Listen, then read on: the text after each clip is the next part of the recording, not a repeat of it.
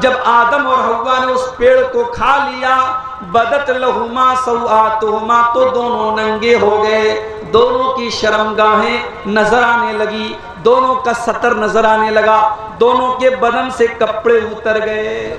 देखो गुनाह कितनी खतरनाक चीज़ होती अल्लाह की नाफरमानी कितनी खतरनाक चीज़ होती है कि जैसे ही आदम और हवा ने उस दरख्त को खाया, उनके बदन से कपड़े उतर गए और दोनों नंगे हो गए।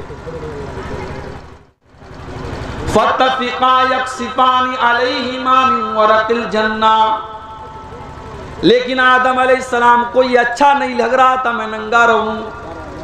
हज़रत हवा को अच्छा नहीं लग रहा था, मैं नंगी रहूँ। उन दोनों ने जन्नत के पत्तों को तोड़ तोड़ करके अपने आप को ढांकना शुरू कर दिया। पता ये चला कि आदम और हवा ने अपनी औलाद को ये पैगाम दिया कि तुम नंगे मत रहना, नंगे रहना ये इंसान की पहचान नहीं है, ये जानवर की पहचान है। और आज के दौर में नंगे रहना ये तरक्की की पहचान है। जो औरत जितनी नंगी रहती है, उसको उतना तरक्की याफ्ता, उतना मॉडर्न और उतना फैशनेबल माना जाता है। आज बड़े बड़े मुकाबले होते हैं दुनिया के, खूबसूरती के मुकाबले होते हैं और औरतों के बदन से कपड़े नोचे जाते हैं, उनको नंगा किया जाता है। और दुनिया को यह बताया जाता है कि जो औरत जितनी नंगी होगी, उतनी वो तरक्की करेगी। मेरे प्यारे साथियों, हमारे बाप आदम और हमारी माँ हवा उनकी जो औलाद है, जो इंसान है, उन्होंने अपनी औलाद को यह पैगाम दिया कि नंगा रहना ये इंसानियत नहीं है, ये तो हैवानियत है। जो इंसान होगा, वो नंगा नहीं रहेगा, वो अपने सतर को छुपाएगा, अपनी शर्मगा को छुपाएगा। हज़रत आदम और हवा ने जन्नत के पत्तों को तोड़ तोड़ करके अपने सदर को ढांपना शुरू कर दिया। अल्लाह ने फरमाया अलम अनहकुमा अन तिलकुमा शजरती। अय आदम, क्या मैंने मना नहीं किया था? अय हवा क्या मैंने मना नहीं किया था? मैंने तुमको बताया था कि तुम उस पेड़ के करीब न जाना, फिर भी तुमने उस दरख्त को खा लिया। अब हमारे बाप आदम ने और हमारी माँ हवा ने अल्लाह की बारगाह में तौबा की। क्या तौबा की? एक किताब आती है, फजाइल अमाल। नाम सुना है आपने फजाइल अमाल का? हमारे बहुत सारे भाइयों के यहाँ फजाइल अमाल को बाकायदा दर्स के तौर पर मस्जिदों में पढ़ा जाता है। कुरान पढ़ना उतना सवाब का काम नहीं है जितने सवाब का काम फजाइल अमाल का फजाइल अमाल के अंदर ये लिखा हुआ है कि जब हज़रत आदम और हज़रत हवा से गलती हुई तो उन दोनों, वो दोनों परेशान हो गए कि हम अल्लाह से कैसे माफ़ी मांगे, कैसे दुआ करें। तो उन दोनों ने अल्लाह के यहाँ लवे महफूज पर देखा, ला इल्लल्लाह, और मोहम्मद रसूलुल्लाह लिखा हुआ है। वो समझ गए कि मोहम्मद रसूलुल्लाह जब लिखा हुआ है, इसका मतलब कि कोई बहुत बड़ी हस्ती है। उन्होंने अल्लाह के रसूल के वसीले से दुआ मांगी और उनकी दुआ कबूल हो गई। और जब उन्होंने अल्लाह से ये कहा कि अल्लाह, तुम मोहम्मद के वसीले से हमारी तोबा को कबूल फरमा ले। अल्लाह ने उनकी तोबा को कबूल कर लिया। कहाँ लिखा हुआ है? फजाइल अमाल में लिखा हुआ लेकिन मेरे प्यारे साथियों, कुरान क्या कहता है? कुरान ये कहता है कि आदम और हवा ने अल्लाह की बारगाह में ये दुआ की, रब्बना ज़लमना तगफिर लना व तरहमना मिनल खासिरीन। आय अल्लाह आय हमारे परवरदिगार हमने ये गुनाह करके, हमने ये खता करके, हमने ये गलती करके अपनी जान के ऊपर जुल्म किया है। हमने अपने ऊपर अत्याचार किया है। वह इल्लम तगफिर लना, और अगर तूने हमको माफ़ नहीं किया व तरहमना, और अगर तूने हम पर रहम नहीं किया, लनकूनन्न मिनल खासिरीन। तो अल्लाह, हम बहुत बड़े नुकसान उठाने वालों में से हो जाएँगे, हम बहुत बड़े खसारा उठाने वालों में से हो जाएँगे। कुरान तो ये दुआ बता रहा है। और फजाइल अमाल के अंदर क्या लिखा है? कि अल्लाह के प्यारे नबी के वसीले से दुआ मांगी गई। इसका मतलब ये हुआ कि वो रॉन्ग नंबर है, वो गलत नंबर है। और सही बात वो है जो कुरान बयान कर रहा है कि हज़रत आदम और हज़रत हवा ने अल्लाह की बारगाह में ये दुआ की और अपनी गलती का इकरार किया और अल्लाह से दुआ की कि अल्लाह, हमने अपनी जान पर जुल्म किया है और तूने अगर माफ़ नहीं किया तो हम कहाँ जाएँगे? अल्लाह ने दोनों की तोबा को कबूल किया।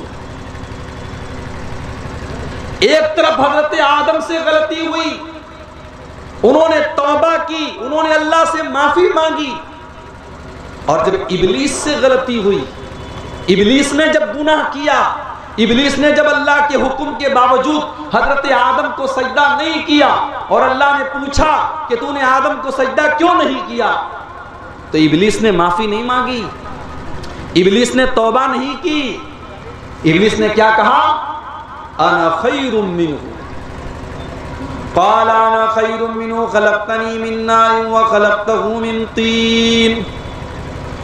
इबलीस ने कहा अल्लाह मैं आदम को सजदा नहीं कर सकता मैं तो आदम से बेहतर हूं आदम को तूने मिट्टी से पैदा किया है, मुझे आग से पैदा किया है। आग से पैदा होने वाली चीज़ मिट्टी से पैदा होने वाली चीज़ को सजदा क्यों करेगी? अय अल्लाह, मैं आदम को सजदा नहीं कर सकता। अल्लाह ने फरमाया मालकांत तकबर तू तकबर कर रहा है तू अहंकार कर रहा है, तू घमंड कर रहा है, तू जन्नत में रह करके तकबर नहीं कर सकता, तू अल्लाह की बारगाह में रह करके तकबर नहीं कर सकता।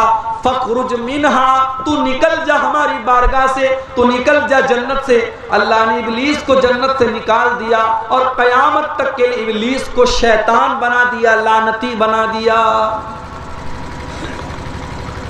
तो गुनाह शैतान ने भी किया और गलती आदम से भी हुई। मगर शैतान अपने गुनाह के ऊपर डटा रहा और आदम ने तौबा की। तो हम आदम की औलाद है मेरे भाइयों। हमें तौबा करनी चाहिए, हमें अल्लाह से माफ़ी मांगनी चाहिए। इसीलिए अल्लाह के प्यारे नबी फरमाते हैं, कुल्लु बनी आदम खत्ताउन, तमाम आदम की औलाद गलती करती है। आदम की तमाम औलाद से गलती होती है। वह खैरुल और आदम की सबसे बेहतरीन औलाद वो है जो तौबा कर ले, जो अल्लाह से माफ़ी मांगे लकद खलकनल इंसान फ़ी तकवीम इंसान, हमने तुझको सबसे खूबसूरत बनाया, सबसे सुंदर बनाया, सबसे प्यारा बनाया, तुझसे प्यारा हमने किसी और मखलूक को नहीं बनाया। या अयुहल इंसान, मा गर्रक बिरब्बिकल करीम, अल्लज़ी खलकक फसव्वाक फअदलक फ़ी अय्यि सूरतिन मा शाअ रकबक है इंसान, तू अपने परवरदिगार को कैसे भूल गया? तू अपने रब को कैसे भूल गया? जिस अल्लाह ने तुझे इतना प्यारा इंसान बनाया, तुझे जीता जागता इंसान बनाया, तेरी खूबसूरत शक्ल बनाई, तेरे दो, तेरी, तेरे दो कान बनाए, तेरी दो आँखें बनाई, तेरा खूबसूरत चेहरा बनाया। जब तू माँ के पेट से पैदा हुआ, अल्लाह ने तेरे शरीर को सुडोल बनाया, तेरे शरीर के अंदर कोई कमी नहीं रखी। अल्लाह ने हमें और आपको इंसान बनाया अब जब हम इंसान हैं, हम आदम की औलाद हैं तो हमसे गलती भी होती है, हमसे गुना भी होता है। इसलिए कि हमारे बाप आदम से भी गलती हुई थी। जब अल्लाह ताला ने आदम सलाम को बनाया, और हज़रत आदम और हवा से कहा कि तुम दोनों जन्नत में रहना और जो चाहे खा लेना, जो चाहे तुम पी लेना। लेकिन अल्लाह ताला ने एक दरख्त के, एक दरख्त को खास कर दिया, एक पेड़ को खास कर दिया कि तुम इस पेड़ के करीब न जाना, इस दरख्त के करीब तुम न जाना। ला तकरबा हाजी शजरा आदम, अय हवा तुम जन्नत की तमाम नेमतों से फ़ायदा उठा सकते हो, मगर तुम इस पेड़ के करीब न जाना। फतकूना मिन वरना तुम जालिम हो जाओगे।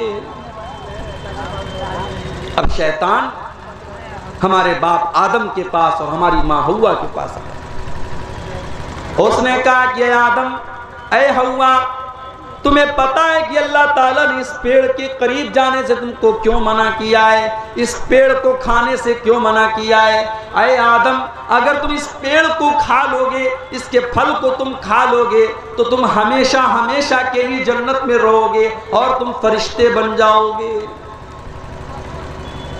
हालाँकि आदम सलाम को अल्लाह ताला ने फरिश्तों से भी अफजल बनाया था। फरिश्तों को हुक्म दिया था कि उनको सजदा करो। मगर इबलीस और शैतान जब हमारे बाप आदम के दिमाग को भी घुमा सकता है तो हम और आपकी क्या हैसियत है मेरे भाई? उसने कहा है आदम, इस पेड़ को तुम खा लो, हमेशा तुम जन्नत में रहोगे और तुम फरिश्ते बन जाओगे। और जानते हो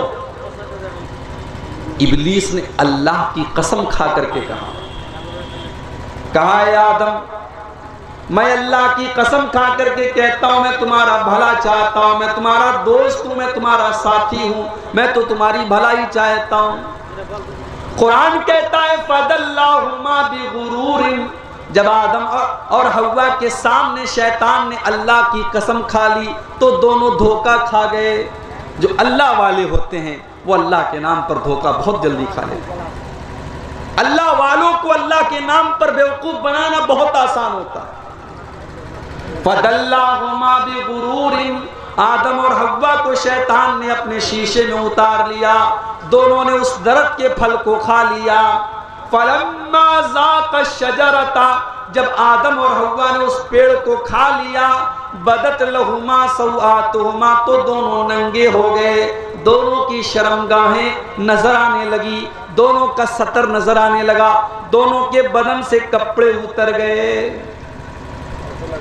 देखो गुनाह कितनी खतरनाक चीज़ होती है। अल्लाह की नाफरमानी कितनी खतरनाक चीज़ होती है कि जैसे ही आदम और हवा ने उस दरख्त को खाया, उनके बदन से कपड़े उतर गए और दोनों नंगे हो गए।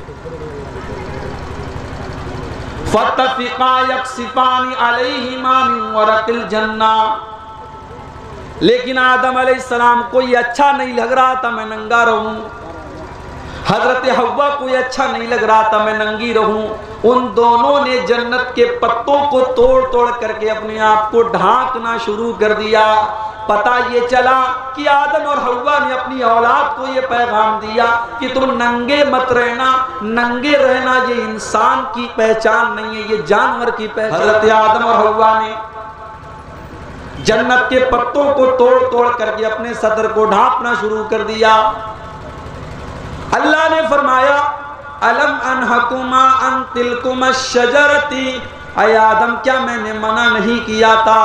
अय हवा क्या मैंने मना नहीं किया था? मैंने तुमको बताया था कि तुम उस पेड़ के करीब न जाना, फिर भी तुमने उस दरख्त को खा लिया। अब हमारे बाप आदम ने और हमारी माँ हवा ने अल्लाह की बारगाह में तौबा की।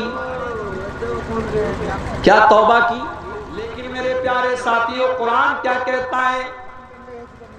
कुरान ये कहता है कि आदम और हवा ने अल्लाह की बारगाह में ये दुआ की, रब्बना ज़लमना अनफुसना व इल्लम तगफिर लना व मिनल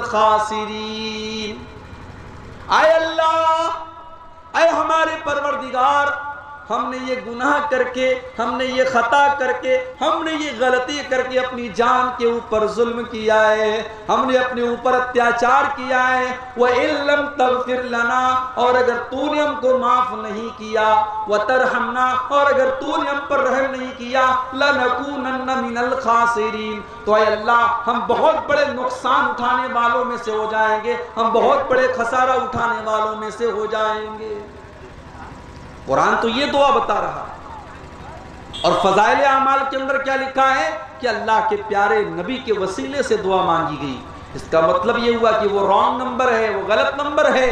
और सही बात वो है जो कुरान बयान कर रहा है कि हज़रत आदम और हज़रत हवा ने अल्लाह की बारगाह में ये दुआ की और अपनी गलती का इकरार किया और अल्लाह से दुआ की कि अल्लाह, हमने अपनी जान पर जुल्म किया है और तूने अगर माफ़ नहीं किया तो हम कहाँ जाएँगे? अल्लाह ने दोनों की तोबा को कबूल किया।